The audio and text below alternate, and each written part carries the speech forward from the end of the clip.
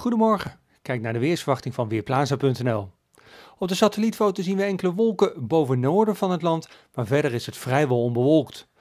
Temperaturen liggen op dit moment nog rond het vriespunt, maar in de loop van de ochtend lopen die op naar een graad of 4. Verder kan er in het noorden een enkel buitje vallen en elders ontstaan er een paar stapelwolken, maar blijft het wel droog. De wind is redelijk rustig, windkracht 2 tot 4 en vanmiddag kan er nog steeds een enkele lokale bui vallen.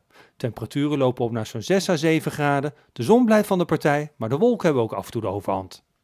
Vanavond wordt het op de meeste plaatsen droog en komen er meer opklaringen. En daarna krijgen we een nacht met temperaturen die rond het vriespunt uitkomen. Morgen overdag hebben we dan van tijd tot tijd zon. Temperaturen lopen op naar 6 graden en lokaal kan er opnieuw een buitje vallen. De wind is morgen heel rustig. In de nacht naar zaterdag wordt het koud. Op uitgebreide schaal hebben we dan lichte vorst. En daarna krijgen we zaterdag te maken met een neerslaggebied vanuit het zuiden. In principe gaat het regenen in de loop van de middag en avond, maar heel misschien valt er ook natte sneeuw. Dat geldt ook voor zondag en maandag. Winterse buien zijn mogelijk bij maximaal rond 5 graden, maar echt winter wordt het niet. Ik ben Michiel Severin van Weerplaza.nl